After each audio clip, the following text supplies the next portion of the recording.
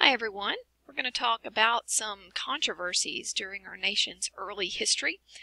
And a lot of the co earliest controversies are going to take place around the election of 1796, in which we're going to have John Adams, who is a Federalist, elected to the presidency, and Thomas Jefferson, who is not a Federalist, who is a Democratic Republican, um, who will be elected eh, or, who will become vice president. At that point in time, whoever got the most number of votes got to be president. Whoever got the second highest number of votes got to be vice president. So that's how you end up with a situation in which you have a president of one party with a very different outlook on the nation and presidential authority, and a vice president with a, a completely different view set. So let's keep this in mind because Jefferson and Adams are not going to play nice together uh, while they have to share the executive branch. Well, when John Adams is elected in 1796, he will inherit the same foreign policy nightmares that his predecessor in office, George Washington, had. Most notably, a st very strained relationship between both the United States and Britain and also the United States and France. Um, so, uh, as these two are at war with one another, France is feeling very resentful that the United States did not kind of pay back the favor that it had offered the U.S. in fighting the British. Um, so for Adams, he's kind of stuck in the same uncomfortable position that Washington was. Um, both the British and the French are uh, essentially harassing U.S. ships on the open oceans, each one trying to gain an advantage over their enemy by halting trade. The United States is trading with both sides, but they're finding British ships, they're finding French ships are stopping uh, these American vessels, boarding them illegally, sometimes stealing the cargo off of those ships, and in some cases stealing sailors off of those ships in a process known as impressment, and then forcing forcing those sailors to work for either the Royal Navy or the French Navy. This problem had accelerated over time uh, to the point where by the time Adams was sworn in as chief executive, more than 300 American ships had been seized, and France had broken off diplomatic ties completely with the United States um, because they, they truly felt kind of snubbed and left out in the cold by the United States.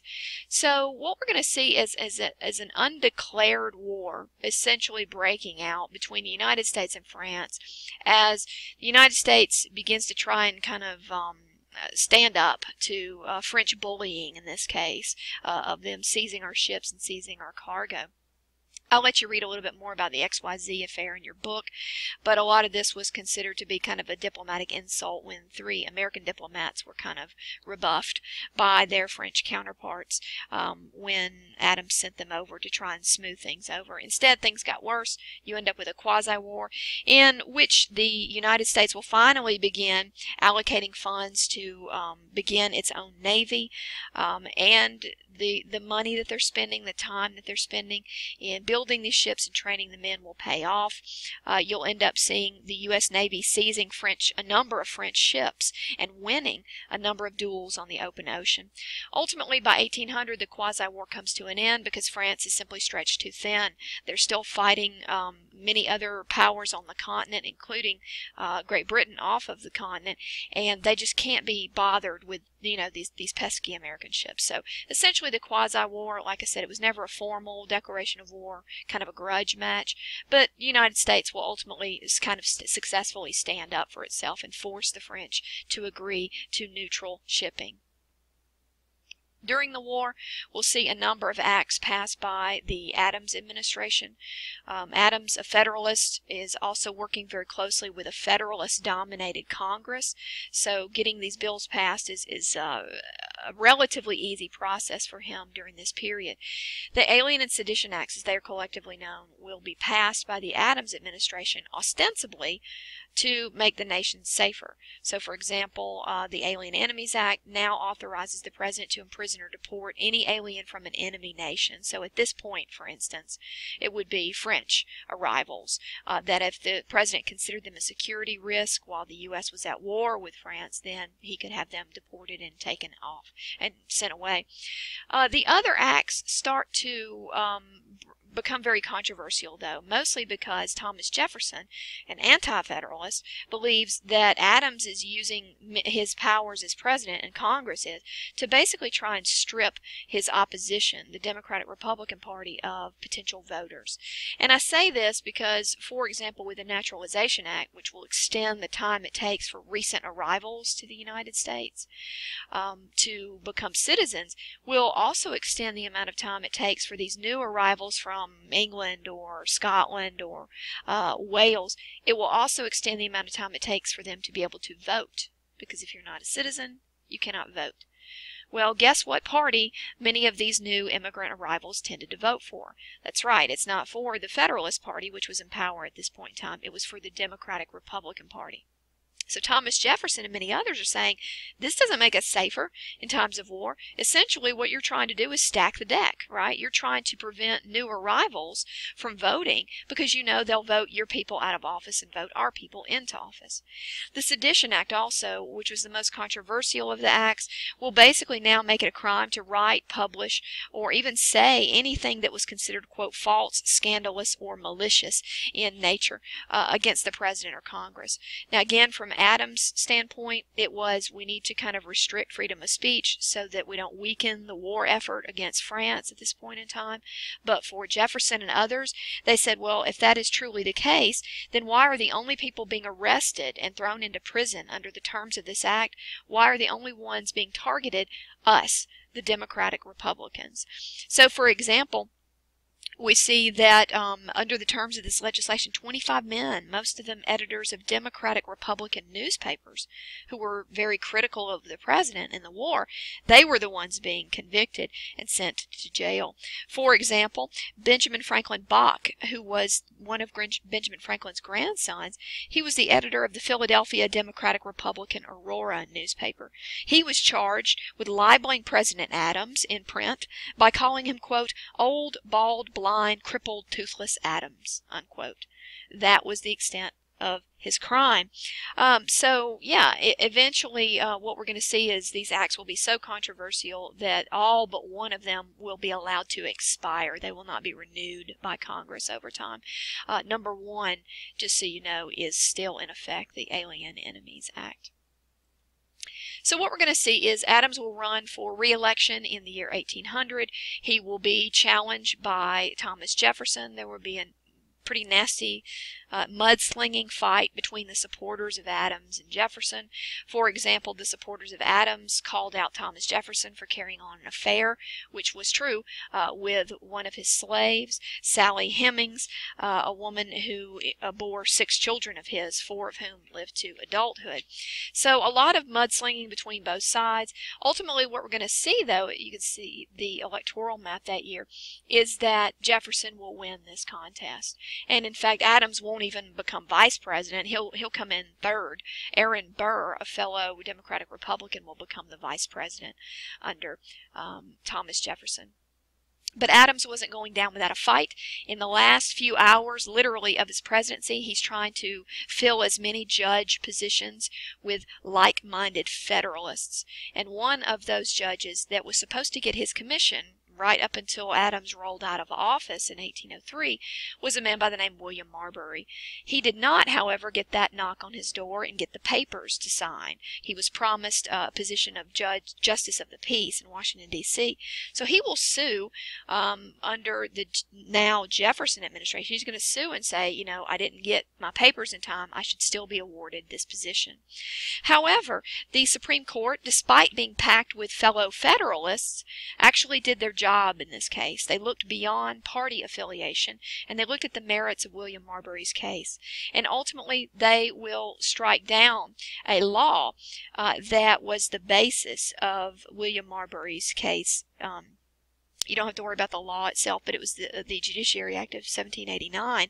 They're going to basically invalidate William Marbury's case. They're going to say the law that you based your claim on is unconstitutional. And as the Supreme Court of the United States, as the judiciary branch, we get to determine what is constitutional or unconstitutional. So this will be the first time we'll see the concept of judicial review introduced. The Supreme Court deciding what is lawful and what is not lawful and striking it down. So Thomas Jefferson will be the new commander in chief. Uh, he will be very insistent that under his term in office, he would repeal taxes, he would slash government expenses, he would cut military expenditures, he would pay off the public debt, that he was going to scale back the role of the federal government and allow the states to have a little more authority. We'll see that in some cases he will abide by his own rhetoric. In other cases, he will be pretty hypocritical. Uh, probably the, the most glaring example of Jefferson kind of going back on his own campaign promises was the acquisition of the Louisiana Territory from France, which um, uh, uh, he will manage to send James Monroe to Paris uh, to um, basically purchased this huge tract of territory that was under French control.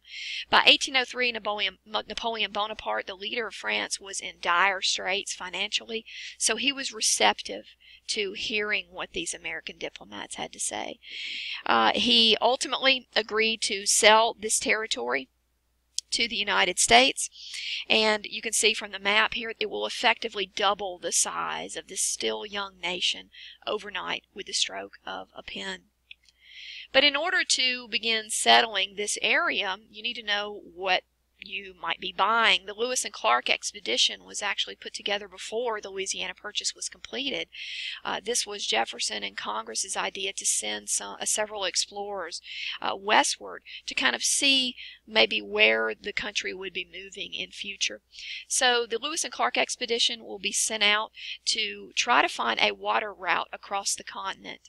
They they had believed, as did the Spanish, as did the French, incorrectly, that there was reportedly a huge waterway known as the Northwest Passage. Uh, stemming, uh, moving that would move water all the way from the Mississippi River to the west coast, the Pacific coast. That did not exist. Obviously, there are plenty of, uh, of uh, rivers out west, but none of them directly connecting with one another all the way to the west coast. So this northwest passage, this is the main reason why Lewis and Clark were being sent out, and they never discover it. But along the way, they do discover some pretty fascinating things. And they will, of the 50 men who originally left on this two year expedition, 49 of those 50 men will return back home safe and sound. They will only lose one member of their expedition to appendicitis, which would have required surgery, something that probably would have resulted in that person dying anyway, even if they were in Philadelphia or Charleston. Uh, so, yeah, pretty successful expedition. Uh, they were able to come back with all kinds of new information on the flora and the fauna of this region, as well as the Native American tribes, most of whom welcomed them uh, graciously, uh, if for no other reason than they had a Native American woman, Sacagawea, who was joining them on this trip, and she helped as a translator and helped uh, them navigate and learn about the various plants and animals uh, that were uh, available in the region. So what we're going to see, though, is despite uh, the fact that Lewis and Clark did not get killed by many of these Native American tribes, the, the vision that the country has, Jefferson and many included, is, is that these peoples needed to be assimilated into the United States. That ultimately they needed to sort of abandon their traditional ways of life, settle down in one place, as you can see from Jefferson's speech before Congress here, adopt, you know, Western styles of dress, learn to speak English, uh, learn to embrace Christianity, that this was the view of most Americans during this time period. That Native American culture should not be respected on, uh, you know, on its, on its own merits, but instead should really be subsumed to American culture, and that these people should just be assimilated and uh, try to become more like American citizens over time. And this is the view that will really carry forward uh, much of U.S. policy towards Native American peoples for the next century after this, really. And we're going to see a little bit more controversy uh, with the Jefferson administration. His vice president, Aaron Burr, he and Alexander Hamilton, a Federalist, had had been kind of engaged in a low-level war of words for years. Uh, this will break out into actually open conflict as uh, Aaron Burr and Alexander Hamilton will duel in 1804, and uh, Burr will end up killing Hamilton, which was uh, obviously against the law during this time period.